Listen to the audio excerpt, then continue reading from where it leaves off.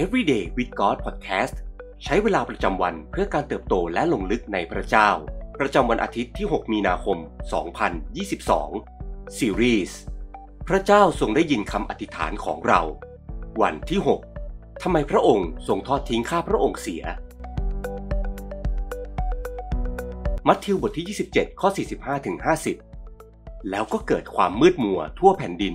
ตั้งแต่เวลาเที่ยงวันจนถึงบ่ายสามโมง พอเวลาประมาณบ่ายสามโมง พระเยซูส่งเสียงดังว่า เอลี เอลีลามาสบักธานี แปลว่า พระเจ้าของข้าพระองค์ พระเจ้าของข้าพระองค์ทำไมพระองค์ทรงทอดทิ้งข้าพระองค์เสีย บางคนที่ยืนอยู่ที่นั่นเมื่อได้ยินก็พูดว่า คนนี้เรียกเอลียา ทันใดนั้น คนหนึ่งในพวกเขาก็วิ่งไปเอาฟองน้ำชุบเหล้าองุ่นเปรี้ยวเสียบปลายไม้อ้อ ส่งให้พระองค์เสวย แต่พวกที่เหลือร้องว่า อย่าพึ่งเลย ให้เราคอยดูสิว่า เอลียาจะมาช่วยเขาหรือไม่ และพระเยซูทรงร้องเสียงดังอีกครั้งหนึ่งแล้วสิ้นพระชน หนึ่งในถ้อยคำที่น่าสิ้นหวังและหดหู่ที่สุดในพระคัมภีร์ ออกมาจากปากของพระเยซูขณะที่ทรงถูกตรึงที่กางเขน พระเยซูทรงถูกตรึงเพราะพระองค์ทรงเชื่อฟังพระบิดา พระองค์ทรงสัตย์ซื่อและทำหน้าที่ทุกอย่างที่ได้รับมอบหมายบนโลกนี้จนสำเร็จอย่างครบถ้วน และความสัตย์ซื่อนี้เองที่นำพระองค์ไปสู่กางเขน สู่ช่วงเวลาแห่งความตาย แม้ถูกกล่าวหา แต่ก็ยังทรงยอมตายด้วยความรักเพื่อมนุษยชาติที่กบฏต่อพระองค์เอง ที่กางเขนนี้เองที่เป็นช่วงเวลาสำคัญที่สุดในชีวิตอันสัตย์ซื่อของพระเยซู ที่พระเยซูจะทรงกระทำให้สำเร็จตามที่พระบิดาทรงส่งพระองค์ลงมาอย่างโลกนี้ แต่ถึงอย่างนั้นในช่วงเวลาเดียวกันนี้เอง พระเยซูกลับร้องตะโกนออกมาว่า พระเจ้าของข้าพระองค์ พระเจ้าของข้าพระองค์ทำไมพระองค์ทรงทอดทิ้งข้าพระองค์เสีย แม้จะฟังดูน่าเศร้า แต่เมื่อเราอ่านพระคัมภีร์ต่อไปจนถึงพระธรรมกิจการ เรากลับเห็นพวกอัครทูตลุกขึ้นประกาศสั่งสอนเรื่องการสิ้นพระชน และการฟื้นคืนพระชนของพระเยซูด้วยความกล้าหาญในกิจการบทที่2ข้อ 22ถึง24 เราเห็นเปโตรประกาศว่า การตายของพระเยซูนั้นเป็นไปตามที่พระเจ้าทรงดำริแน่นอน และทรงทราบล่วงหน้า ท่านทั้งหลายผู้เป็นชนชาติอิสราเอล จงฟังเรื่องต่อไปนี้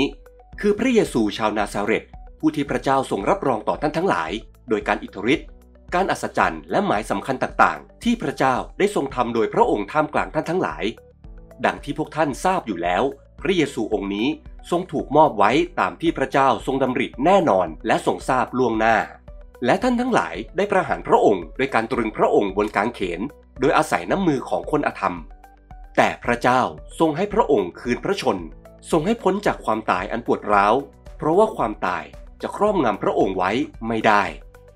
หรือแม้แต่เรื่องของกบฏและการก่อจราจนของฝูงชนที่ต้องการให้พระเยซูถูกประหารนั้น พวกอัครทูตร่วมกันประกาศว่า ทุกสิ่งนั้นเป็นไปตามที่พระหัตถ์และพระดำริของพระองค์ทรงกำหนดไว้ล่วงหน้า ในกิจการบทที่ 4 ข้อ 25 ถึง 28 บอกไว้ว่า พระองค์ตรัสไว้โดยพระวิญญาณบริสุทธิ์ด้วยปากของดาวิดบรรพบุรุษของเรา ผู้รับใช้ของพระองค์ทำไมคนต่างชาติจึงหยิ่งยโส และชนชาติทั้งหลายปองร้ายกันแต่ไม่เป็นผล บรรดากษัตริย์แห่งแผ่นดินโลกตั้งตัวขึ้น และนักปกครองชุมนุมกัน ต่อสู้พระเจ้า และผู้รับการเจิมตั้งของพระองค์ ความจริงในเมืองนี้ทั้งเฮโรด และปอนทิอัสปิลาตกับพวกต่างชาติ และชนชาติอิสราเอล ร่วมชุมนุมกันต่อสู้พระเยซู ผู้รับใช้บริสุทธิ์ของพระองค์ ซึ่งทรงเจิมไว้แล้ว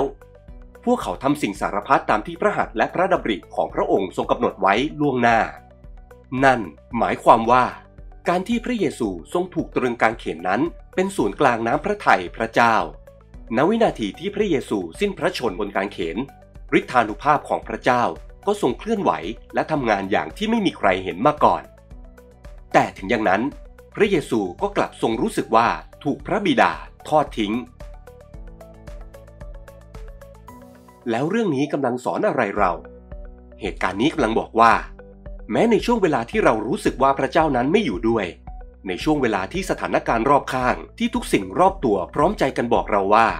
พระเจ้าไม่ได้ยินคำอธิษฐานของเราแล้ว แท้จริงแล้วช่วงเวลานั้นอาจเป็นเวลาที่พระเจ้ากำลังทำงานของพระองค์อย่างมากมายเกินกว่าที่เราจะจินตนาการก็เป็นได้ ยอห์นบทที่ 5 ข้อ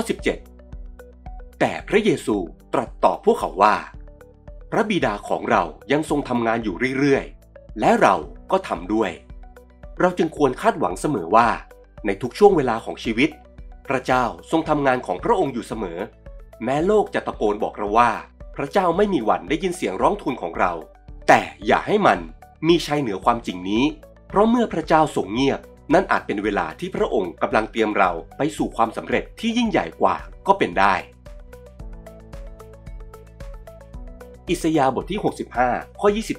24 และจะเป็นดังนี้ คือก่อนที่พวกเขาร้องเรียก เราเองจะตอบ ขณะที่เขาทั้งหลายยังพูดอยู่ เราเองจะฟัง สิ่งที่ต้องใคร่ครวญในวันนี้ มีเหตุการณ์ใดที่เรารู้สึกว่าพระเจ้าทรงทอดทิ้งเราไปหรือไม่ พระเจ้าทรงทำอะไรผ่านเหตุการณ์นั้นบ้าง พระองค์กำลังทรงทำการอัศจรรย์ใดที่เกินความเข้าใจของเราบ้าง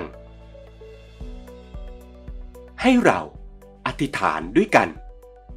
พระเจ้าที่รัก เราขอบคุณที่พระองค์ยังทรงสัตย์ซื่อเสมอ ไม่ว่าเราจะรู้สึกหรือสัมผัสถึงพระองค์อยู่หรือไม่ เราขอบคุณที่แม้บางเวลาที่เรามองไม่เห็น แม้หูจะไม่ได้ยิน แม้เราจะสัมผัสไม่ได้ แต่พระองค์ก็ยังทรงเคลื่อนไหวและทำการอัศจรรย์ของพระองค์อยู่ เราเชื่อว่าแม้ช่วงเวลาที่เงียบที่สุดก็ยังเป็นช่วงเวลาที่เราจะได้เฝ้ารอคอยความยิ่งใหญ่ของพระองค์ ปรากฏแก่ชีวิตของเรา เราอธิษฐานในพระนามพระเยซู เอเมน